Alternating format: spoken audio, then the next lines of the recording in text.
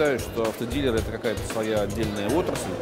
Э, это все-таки часть большой автомобильной промышленности, которая имеет несколько своих э, принципиальных звеньев или элементов, э, начиная от тех, кто проектирует автомобили, э, производителей компонентов, производителей конечных автомобилей, но и в том числе э, тех, кто занимается продажами машин. Поэтому, конечно же, это составная часть всего нашего большого бизнеса под названием «Автопром». Программа льготного автокредитования скорее мы могли бы отнести к поддерживающим э, мерам государственной помощи, э, поскольку она фундаментально ничего на рынке не меняет. Она лишь дает возможность людям, которые в противном случае не покупали бы автомобили, э, стать счастливым владельцем нового авто. Поэтому мы не преувеличиваем возможность этой программы и понимаем, что это своего рода маленький толчок к тому, чтобы люди пошли в салоны, чтобы они стали рассматривать возможность покупки, и в том случае, если у них недостаточно денежных средств, а, как раз вот присоединились к тем, кто и двигал продажи за последние несколько лет, а именно к людям, которые покупали машины в кредит. Производители, автодилеры, как муж с женой. А, ну а когда милые бронятся, только тешатся. Вот в этих развлечениях, наверное, и проходит их жизнь.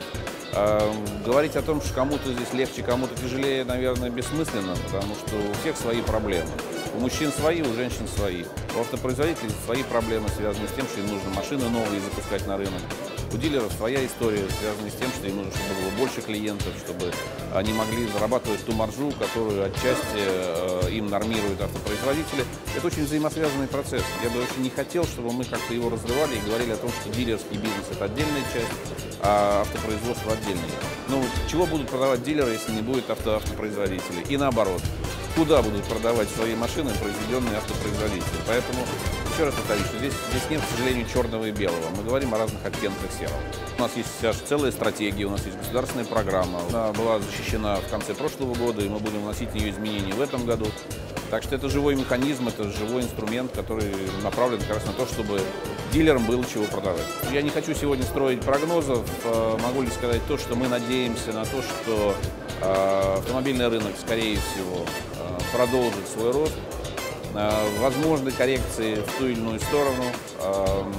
Скорее всего, 2014 год будет чем-то похож на 2013, э, при том, что будут, скорее всего, либо сезонные всплески, которые будут позволять либо немножко подрасти в продажах, либо немножечко падать.